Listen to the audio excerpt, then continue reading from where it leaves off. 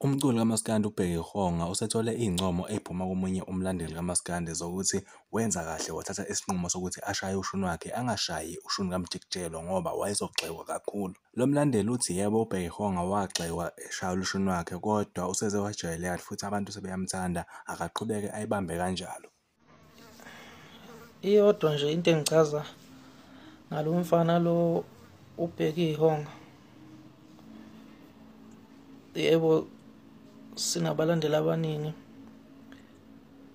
sasifisa engathi ngathi makuhamba uMjikijelo kube khona umuntu ozongena ey'cathulweni zakhe futhi sasifisa ukuthi ozoqhuba umsebenzi mhlampe adlale isitayela sikaMjikijelo. Ekuqaleni uma ngabe efika lo mfo saqala samxwaya sibaningi nje.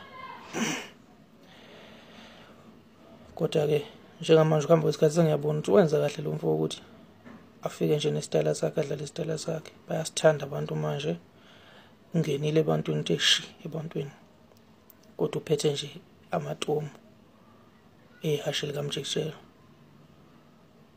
Ngoba ukube wadlala loya shuni loya esiwaziyo kaMjikijelo mhlampe ngathi uyamgxeka namanje ngoba mhlampe ongeke mhlampe awushaye ngale ndlela thina esifuna ngoba thina singabalandeli thina siyathanda ukuthi silawule abaculi ukuthi benze lokhu okufunwa yithi.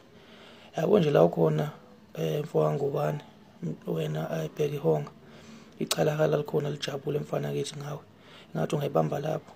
Abalandeli becala bonke nje nabalandeli bonkana ababethanda uMjikijelo ngicela sithenge amathikithi abhalwe ukuthi eze cala sinikelele emcimbini kaNgelo V sobe ngikhona nami. Ngifuna uma ngingena laphana bokazi nithi Sikhanda, Sikhanda, Sikhanda, Sikhanda. Ya kodwa-ke Paano, pigi Juan? Dahil lalim ko.